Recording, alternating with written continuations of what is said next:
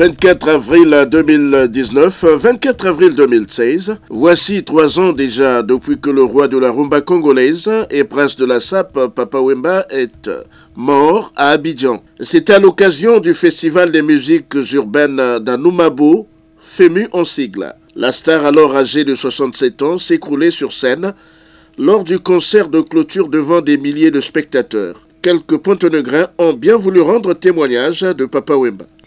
D'abord, c'est une journée euh, très spéciale pour nous, euh, les modélistes, pour nous, les fans euh, de la musique d'abord, après la SAP, parce que la SAP est liée avec la musique.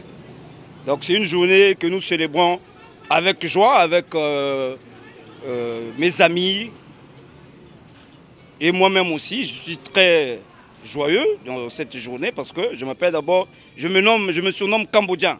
Si j'avais pris euh, le surnom de Cambodgien, je m'étais inspiré par Papa Wemba. Et dans, dans son orchestre, il y, a, un, Cambodgien aussi là-bas. Donc euh, pour moi, c'est une journée euh, de mélomane. L'artiste ne meurt jamais, il reste vivant à travers ses œuvres.